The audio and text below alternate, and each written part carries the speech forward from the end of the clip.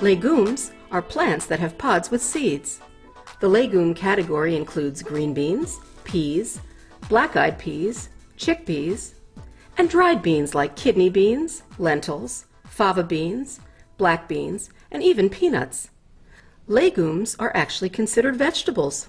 Some beans are high in protein and are sometimes used as a substitute for the main protein component of a meal. Three bean salad is a good choice to illustrate the basic principles. Follow the recipe to prepare the ingredients that need to be chopped, diced, minced, or sliced. This recipe uses canned beans, but you could start with dried beans and rehydrate by using long or short soak methods. In that case, your mise en place would include a bowl for soaking or a pan for boiling. You will have to chop onions and peppers, so you'll need either a food processor or a chef's knife and cutting board.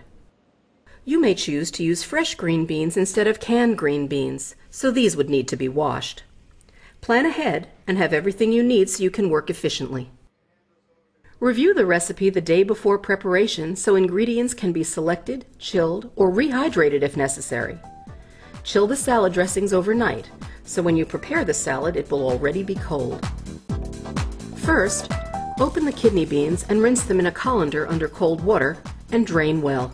In a large bowl, combine all the beans and add the onions and peppers. Remember to always measure your ingredients. If you are using fresh green beans, it's recommended that you blanch them to keep their color and to soften them slightly. In another bowl, make the dressing of oil, vinegar, sugar, herbs, and spices. Blend them together well and pour them over the bean mixture.